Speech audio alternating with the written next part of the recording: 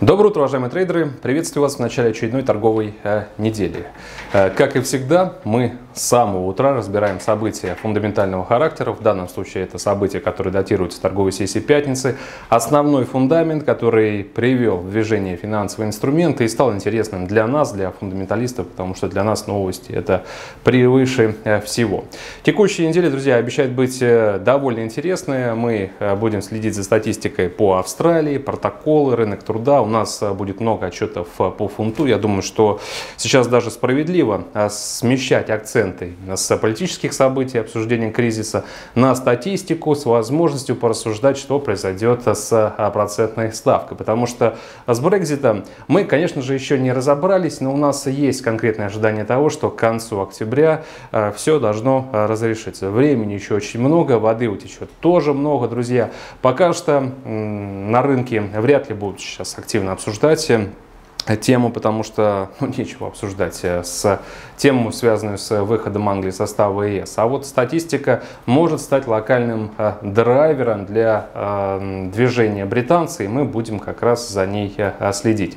По евро-доллару, по европейской валюте также очень много важных отчетов. Это индекс настроения в деловой среде, это индекс активности производственного сектора, это данные по инфляции. Друзья, вот, кстати, сегодня мы пару слов еще Э, поговорим, в общем, о евро с учетом именно прошедшего заседания Европейского Центрального Банка. Я хочу, чтобы вы еще раз уловили сигналы, которые были даны ЕЦБ нам, как трейдерам, осознали то, что европейская валюта принципе могла бы стоить гораздо дешевле, поскольку э, риторика была исключительно мягкая. Попробую сегодня э, доказать. Ну вот э, пока что не складываются у нас э, в плане того, чтобы увидеть евро на тех уровнях, которые бы нам э, хотелось. Но, друзья, еще не вечер. Очень много статистики по э, Канаде, в частности, тоже данные по инфляции. Это еще и розничные продажи, потребительской активности. Э, кстати говоря, розничные продажи и данные по инфляции, можно сказать, это отчеты взаимосвязаны между собой, потому что именно розница определяет э, Э, показатель э, индекса потребительских цен. И в данном случае вы помните, что по Канаде нас интересует именно мнение регулятора относительно того, что будет с процентными ставками дальше. А мнение регулятора формируется как раз на основании тех данных, которые мы видим по инфляции. Напоминаю, друзья, также, что сегодня в 16.30 по московскому времени пройдет очередной вебинар «Правильный понедельник», где мы еще раз такими крупными мазками разберем основной фон э, недели минувшей. Э, еще раз э, освежим в памяти, что у нас прицепом идет в плане фундамента до этого. Хочу, чтобы вы понимали, какие тенденции сейчас на рынке сформированы и что с ними произошло с учетом вот появившихся новых водных за счет прошедшей недели. По доллару, безусловно, также будут отчеты, розничные продажи. В четверг, я думаю, что это один из самых важных релизов. В принципе, я считаю, что для доллара есть несколько важных отчетов. Это данные по инфляции, розничные продажи и всем известный non-farm. С, ну, с инфляцией, с нонками мы уже разобрались. Сейчас вот на повестке снова розничные продажи. А, напоминаю, что на прошлой неделе, когда вышли данные по базовому индексу потребительских цен, мы с вами констатировали с небольшой даже эйфорией того, что базовое значение инфляции снижается. И это более чем оправдывает э, тот подход выжидательный, э, которого с некоторых пор придерживается американский регулятор. Друзья, давайте теперь чуть подробнее разберем события на э, рынке нефти. 71.33 сейчас э, котировки. В частности, покупатели и продавцы явно э, борются. И покупателям хочется оказаться повыше. Тут и впереди ведь маячит уровень 75 долларов за баррель. И, в принципе, их винить, критиковать ни в коем случае не стоит, потому что их шансы, в принципе, равны с шансами продавцов, потому что есть и фундамент, это Последний отчет ОПЕК о том, что обязательства прошлого месяца были выполнены на 153 тысячи. Напоминаю, что страны ОПЕК э, снизили добычу в минувшем месяце на 534 тысячи. По странам я также рассказывал вам. Поддержку ценам продолжают э, оказывать вот э, сигнал сокращения э, мирового предложения. Ливийский конфликт, мы его уже с вами проанализировали с точки зрения того, что если все-таки переворот произойдет, то санкции будут уже не за горами, поэтому вот еще один риск для глобального предложения. Сейчас в цифрах копаться не будем. Не забывайте также и про соглашение США и и э, Китая. Правда, неизвестно, когда оно все-таки будет подписано, однако отсутствие плохих новостей на текущий момент э, рынком воспринимается как э, позитив. Прошлой неделе это неделя, пятидневка переговоров в формате телеконференции. Я не могу ничего нового сказать, друзья, потому что никаких подробностей на рынке нету. Но в то же время две недели назад нам говорили, что до соглашения остаются считанные недели. Уж не знаю, верить в это или нет. Тут нужно решать каждому за себя. Если вас интересует мое мнение, я в быструю победу вот за такой короткий промежуток времени уж точно не э, верю. И что касается шансов э, продавцов на рынке нефти, чтобы все-таки э, оказаться поуверенней. А покупателей статистики тоже очень много. В частности, это и отчет Baker Hughes по количеству нефтяных терминалов буровых. Их число снова увеличилось.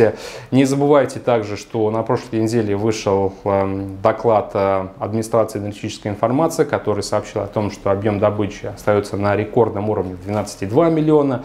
Не забывайте также про прогноз администрации энергетической информации. Примерно 200-300 тысяч еще будет э, Э, по уровню добычи. То есть производство будет увеличено до конца 2019 года. И я вроде бы как в четверг или в пятницу говорил вам о том, что на рынке есть уже сигналы того, что раз предложение так э, стремительно сокращается, есть ли вообще э, необходимость, чтобы продлевать действие аналитического пакта после того, как эм, его э, срока истекет в рамках э, и по прошествии, скажем так, первого полугодия 2019 года. Есть отдельные уже звоночки в сторону того, что ни ОПЕК, ни Россия дальше более эту инициативу поддерживать не будут. Но понимаю, конечно же, настроения могут измениться, друзья, но имейте в виду, что риск того, что а, энергетический пакт более не будет поддерживать котировки нефти, он имеется. И мне кажется, именно энергетический пакт все-таки выступил основным катализатором роста больше, чем на 30-40% котировок в рамках вот первого квартала 2019 года. Что будет без него с ценами, я думаю, что тут легко догадаться. Также сейчас трейдеры готовятся к статистике по Китаю. Она будет опубликована на этой неделе. Серия важных отчетов, особая внимание мы уделим темпам экономического роста по прогнозам Э, мы увидим цифры э, минимальные за последние 30 лет на отметке 6,2%. Я считаю, что это более чем реально, учитывая э, весь тот фундаментальный негатив, который мы с вами не раз уже разбирали. Поэтому, друзья, кто в итоге выйдет победителем на этой неделе на рынке черного золота, мне хотелось бы дать вам четкую установку, но, к сожалению, этого не могу сделать. Я лично присматриваюсь уже к продажам, говорил, что буду действовать с уровня примерно 7 70-40, но пока что мы до него не добрались. Покупать мне что-то не очень хочется, вот не решаюсь я на это. Доллар иена 111.93. Сразу хочу отметить вот несколько дуэтов валютных инструментов. Доллар иена держится рядом с мощным сопротивлением 112. Фунт против доллара 1.3095, поэтому говорим о сопротивлении 1.31. Евро, доллар уже фактически на сопротивлении 1.13. Это важные рубежи. Я по отдельности давал рекомендации о том, что стоит продавать эти пары по мере а, собственно, касания этих значений, эти рекомендации остаются а, в силе. По доллару иене, так же как и по, ну, кстати, подробнее, доллар иен предлагаю ставить на снижение через отложки а, sell лимит там с уровня 112.10, 112.20 и рассчитывать на то, что поддержку именно короткой позиции на этой неделе могут указать слабые данные по розничным продажам. Я допускаю, что розница, скорее всего, будет так себе, потому что у нас э, были слабые данные по инфляции, у нас э, были слабые данные по Non-Farm Perils. Вы помните, что я обратил ваше внимание, чем несколько раз, что темпы роста заработных плат оказались довольно скромными, всего лишь 0,1%, в то время как в феврале были уровни 0,4%. Поэтому мы изначально готовились к протоколам минувшей недели с точки зрения того, что представители Федрезерва, конечно же, э, работают с какими-то более глубокими цифрами, более детальной э, статистикой и знали, что с ставками сейчас торопиться не нужно, потому что в целом и инфляция начинает потихоньку отходить от э, тех уровней, которые ранее мы характеризовали как очень близкие к э, целевым значениям. Наши ожидания были оправданы, протоколы э, подтвердили то, что ФРС не будет повышать ставки в этом году, поэтому я считаю, что распродажи доллара пойдут, их просто нужно дождаться. Катализатором для снижения вполне может стать отчет по розничным продажам, если он, конечно же, окажет необходимое влияние на снижение доходности американских облигаций. Евро против доллара 1.1305. Я также отметил, что продавать можно с уровня 1.13.10, 1.13.20. Я эту рекомендацию давал еще на прошлой неделе. Эм, снова повторяю, что, друзья, э, то заседание Европейского Центрального банка, которое э, прошло, пусть и не дало конкретики, действительно, по э, обещанной многоуровневой ставки по депозитам, операциям долгосрочного рефинансирования, но все равно комментарии Драги в виде понижательных рисков сохраняющихся и того, что именно глобальная экономическая торговая неопределенность сдерживает темп экономического а, роста, все эти комментарии были интерпретированы как мягкие. И мы осознали, что у евро действительно есть хороший потенциал для а, снижения.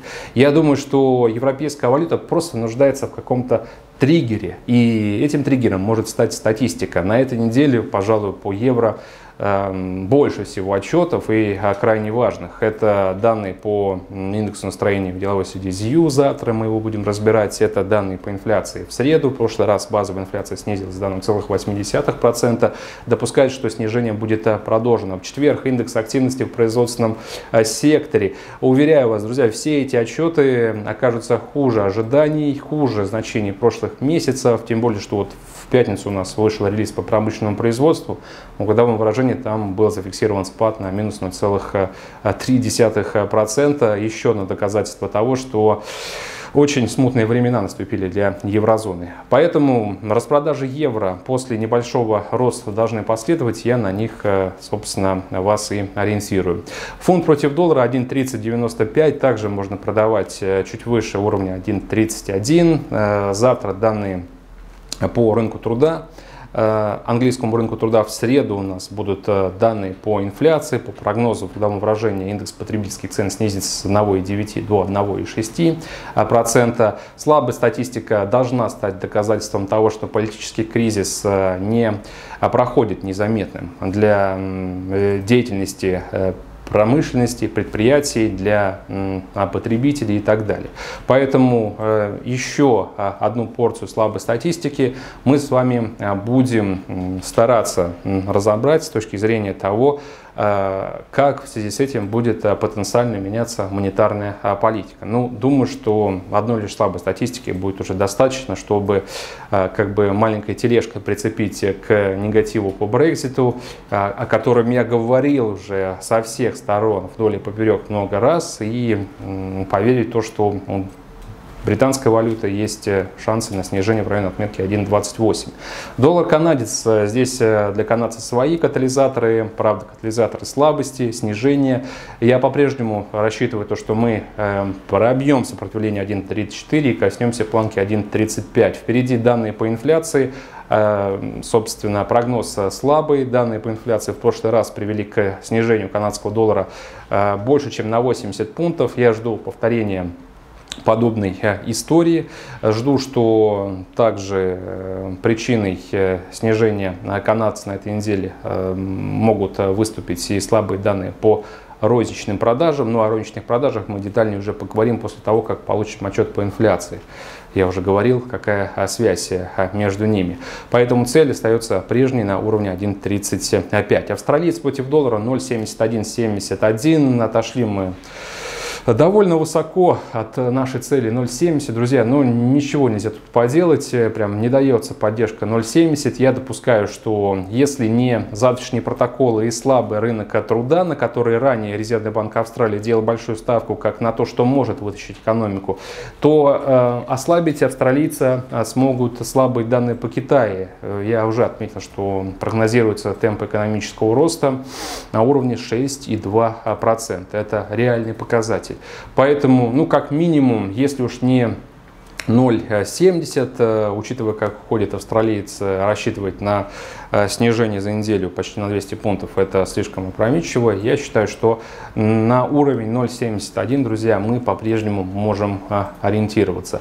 Новозеландец против доллара 0,67, 0,6774, цель также остается на уровне 0,67. Непосредственно статистических отчетов по Новой Зеландии как таковых не будет, но по аналогии с Австралией будем следить за китайской статистикой, потому что Китай, учитывая партнерские стратегические связи с Австралией и Новой Зеландией, оказывает напрямую э, влияние на э, эти экономики, на валюты, которые за ними э, стоят. Друзья, на этом, собственно, все. Хорошей вам торговой сессии. Всего доброго. До свидания.